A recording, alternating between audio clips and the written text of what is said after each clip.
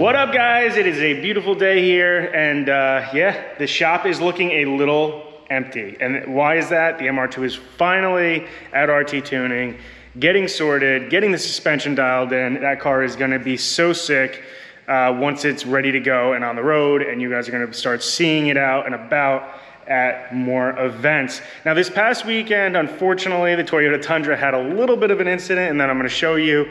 Um, and uh, stinks. Hates, hate to see it happen to brand new cars. But also the Corrado is getting cleaned up and uh, we are having a massive Corrado meet and uh, that's what we're getting ready for. So stay tuned.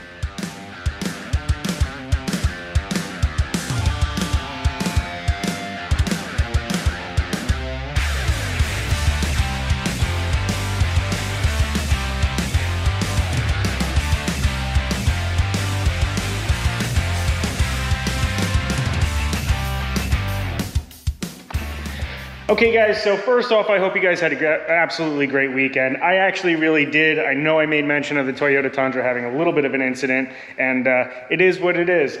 Cars, you drive them a lot, things happen, and you move on. Um, the great news is that uh, we're gonna start getting a little bit more into that truck now that the MR2 is out of here. As you can see, the MR2 is gone. It is finally at its, uh, at the shop getting the suspension dialed in, getting the engine dialed in. Um, it's got some leaks, it's got some creaks, it's got some crust and rust and all this other stuff. As you know, suspension was removed. Those old crusties are finally out and we have the brand new Bob Fam coilovers on that with the Swift springs. I'm super excited to see what that turns out with. Um, all of the other upgrades that are gonna be going on with that car. We are trying to make a list at this point me and RT Tuning rather, of what the car kind of just needs to get on the road. And then also, I do want to have them do some things. I believe I want to upgrade the sway bars. There's some more suspension work, even though that we have the coilovers on there. MR2s, they're old. They uh, That car has been sitting for a very, very long time, almost 10 years in a garage. So I want to get that car up and running. I'm excited to have that car on the road and I kind of want to beat it up and have some fun because the engine in it doesn't really matter to me. I plan on taking that engine out. So um, yeah, with that being said, MR2, it's in progress and we're gonna be seeing a lot more of that on the channel soon. Now, with, uh, with that being out of here, we could finally concentrate on cleaning up the Corrado. We have a absolutely massive Corrado meet going on this weekend. Um, if you are local to the tri-state area, and when I tri-state area, I mean New Jersey, New York, Pennsylvania, um, we have Maryland showing up, Pennsylvania. I think we have Long Island. We got New York. We got New Jersey. So many Corrados are going to be there. We are looking at 20 plus Corrados showing up to this event, which is unheard of. Um, I think the most cars that we've had together so far with the group that I've, you know, that I'm kind of in touch with and my friends, we've only had 17 total. And at that meet, it was three or four of them weren't even running because the owner's house that we were at had three or four.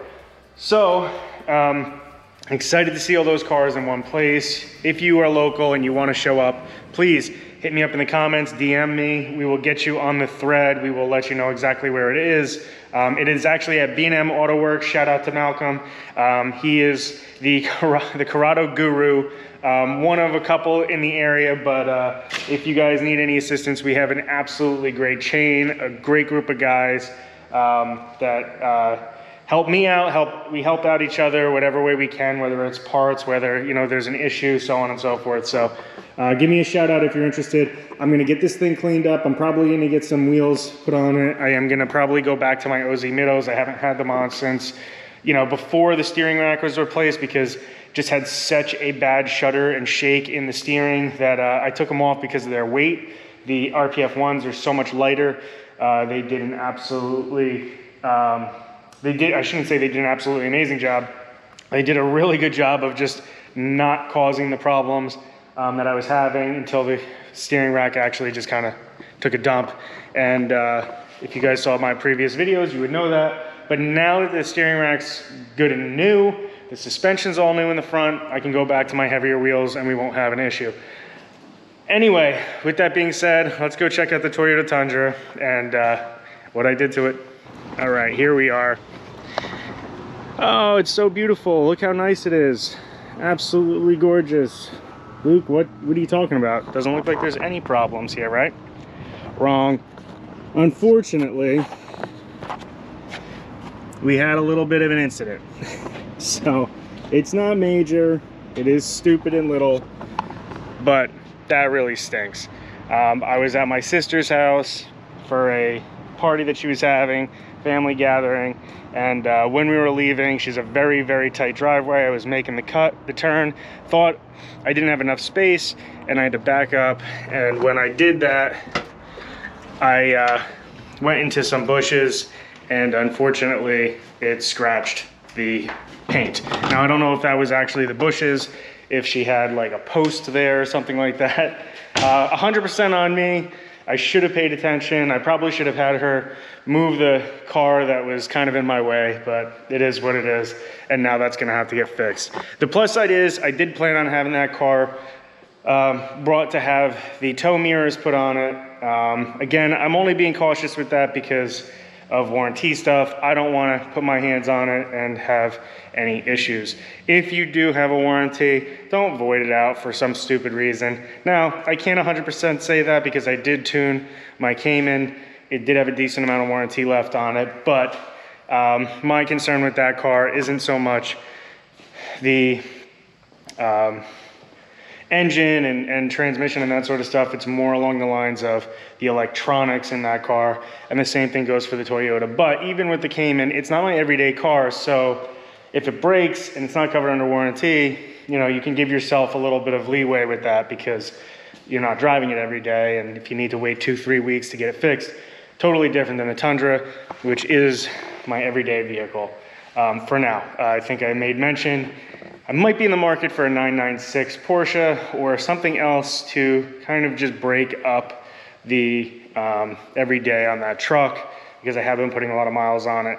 And uh, as much as I would love to just be driving these other cars, the Corrado specifically, um, being that it's a Corrado, um, the MR2 might, you know, be able to get me some uh, miles in between.